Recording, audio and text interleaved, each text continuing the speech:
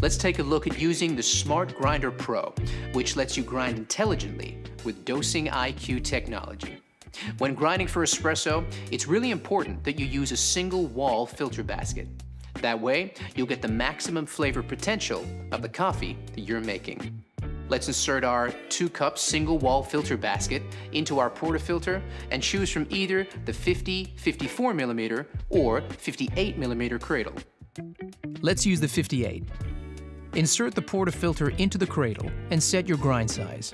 Here, we'll select 14 to start, which you'll adjust depending on the flow rate over espresso. Next, set the number of shots. For a double cup basket, we'll set this to two shots. Now, start grinding by pressing the start button or momentarily pressing the portafilter in and releasing. You can use the pause function to settle and collapse the grinds in the filter basket before reinserting into the cradle and continuing to grind the remaining dose.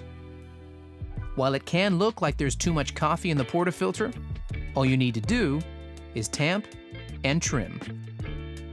Collapse the grinds into the portafilter before using the tamper and applying firm pressure with a slight twist to finish. Then use the razor to trim the perfect dose, leaving you with just the right level to make the perfect espresso coffee. Remember, you can adjust your grind size to fine tune your extraction if required.